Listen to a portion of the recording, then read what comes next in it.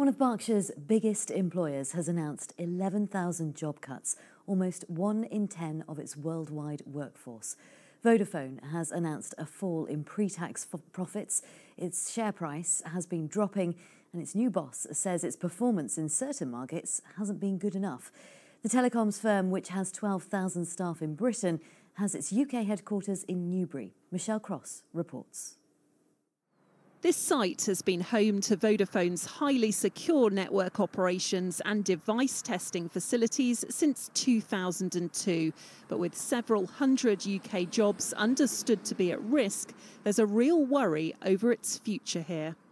It will be a blow to Newbury. There's a, there's a lot of people that work there. It will make Newbury a, a poorer place, basically, which is sad because it's a, it's a nice town. The shops rely on Vodafone. It's been massive for the whole town. The company's blaming a poor financial forecast. It follows pre tax profits of £12.8 billion in the last year, lower than expected due to rising energy costs. And the customer side of the business also taking a hit, with fewer upgrading handsets amid the rising cost of living. This isn't the first time redundancies have impacted our region. In 2010, 400 jobs were affected when the company closed its centre in Adderbury in North Oxfordshire. The mobile giant is looking to create a leaner and simpler organisation and recently sold the campus here, leasing some of the buildings back. There's a great deal of unease um, across Berkshire about this decision.